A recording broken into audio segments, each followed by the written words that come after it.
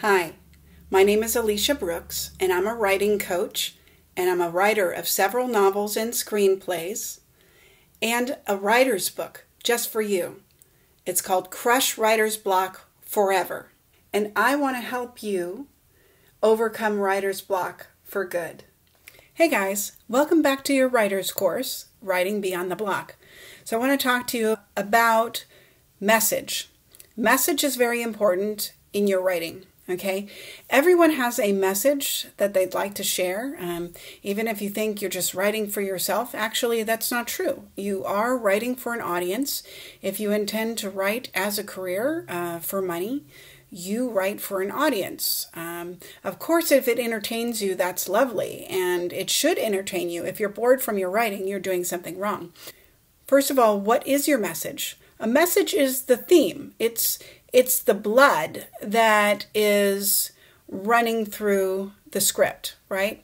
So obviously we know in a in a human body, the blood brings oxygen to the heart and the brain, everything. It it brings oxygen everywhere to all of your organs, and um, and so what is the message, the theme? So, for an example, in a script or in a movie about a family, you could say um, the theme is blood is thicker than water, right?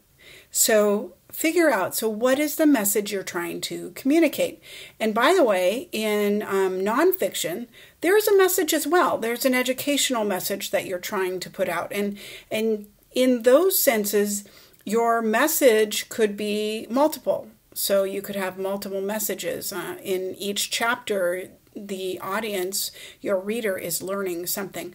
So don't think just because it's nonfiction that there's no message.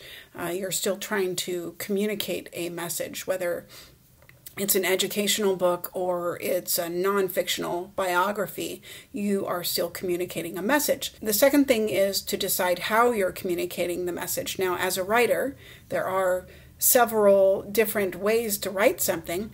A uh, songwriter, for instance, communicates their message by song and by lyrics. Um, their melody also is a form of, of the message. So there, that particular way is um, obviously not what we're discussing, but they do have a message. So you decide how you're going to communicate that message. Are you a novelist?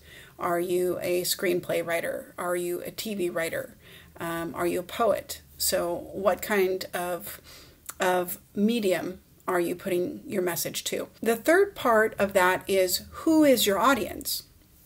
I kind of touched upon this because some artists uh, get an idea that oh this is this is only for me this is my one true love and this is my pet project and and I'm doing it for me but honestly, you have an audience no matter what. So you have to think with who is my audience. Now, you can have a very, very precise, small audience. You can have something that's uh, rather small and that's totally fine you know if you're doing some kind of show art and um, and you know you know you have to know this you know that this is for a specific type of audience like hey maybe you're you're doing something for cancer nurses.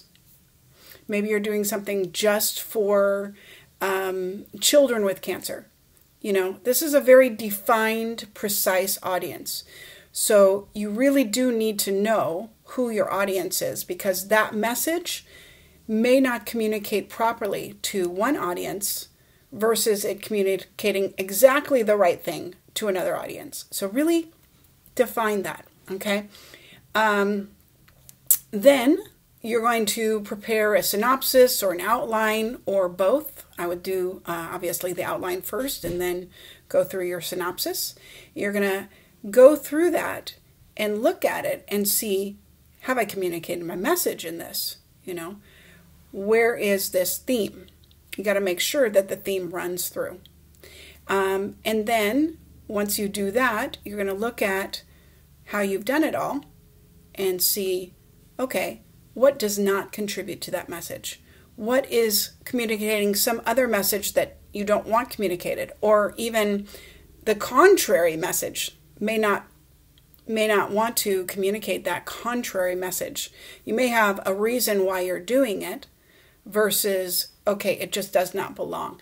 Listen, we do not want to confuse our audience. If we're sticking to a message, let's stick to it. Because at the end, listen, in writing, we're dealing with character arcs. So if the beginning message is communicating, oh my God, um, family, you cannot trust family. That's the message. So by the end of that, if you have a character arc where now his family has really come through for him, obviously there's that. And you have a win at the end that, you know, well, this this particular thought was incorrect um, or at least it got fixed, that kind of thing. Um, but anything else during the story and during the climax and during the the important scenes, you're going to have to have that theme, that message running through. If you don't have that message running through, or you have a contrary message or a confusing message, you take that out. So that is about message. And um, if you like, go ahead and take a moment here to really look at your message and have you communicated it properly. Um, or if you don't have a message, you should figure that out. Okay? Great. If this video has inspired you and you'd like to know more, send me a message below.